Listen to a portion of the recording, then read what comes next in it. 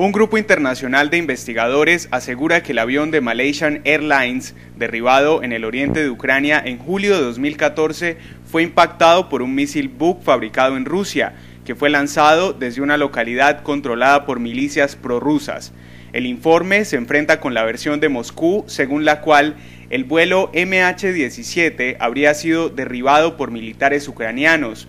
298 personas, la mayoría proveniente de los Países Bajos, murieron a causa del accidente. Hemos visto mucha información en los medios los últimos 26 meses y creemos que la verdad ha sido confirmada. La Fiscalía no puede imputar cargos porque no hay un acuerdo sobre cómo se puede llevar un caso como este. Malas noticias para las familias de las víctimas quienes han asegurado que quieren justicia. Siempre se nos dijo que era imposible conocer al perpetrador del ataque. Hoy sabemos que es posible. Si un misil fue enviado de Rusia a Ucrania, la decisión no fue tomada únicamente por el soldado.